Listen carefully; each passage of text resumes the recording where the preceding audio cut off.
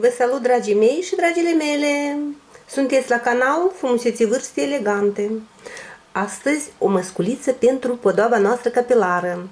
În uh, filmulețul precedent ați văzut o măsculiță din soia, din praf de soia, pentru lifting, pentru porii dilatați, antirid.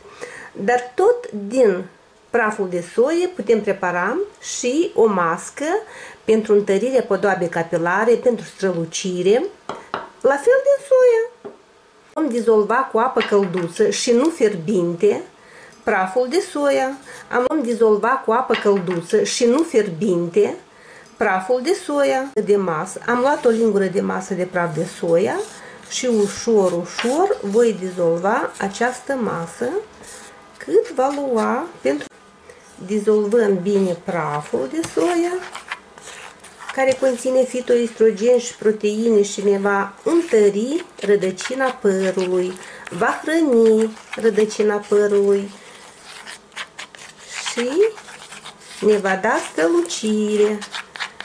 Iată așa o pastă s-a primit. Am dizolvat pudra de soie, praful de soie, adăugăm un gălbenuș, gălbenușul care conține lecitină, ne întărește celula, întărește keratinocitele.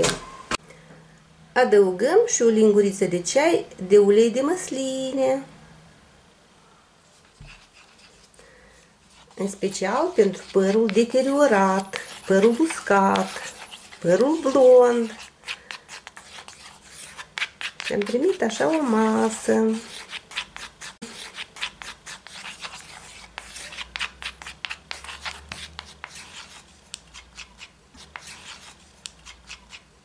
O mască foarte simplă, se aplică pe toată lungimea părului. Dacă aveți părul foarte lung, puteți să dublați porțiile ingredientelor. Sub un prosop călduț veți lăsa o oră, o oră jumate. Eu merg astăzi la saună și voi profita de această mască. Eu vă iubesc, vă îmbrățișez Vă doresc să aveți o podoabă capilară sănătoasă și frumoasă. Pe curând!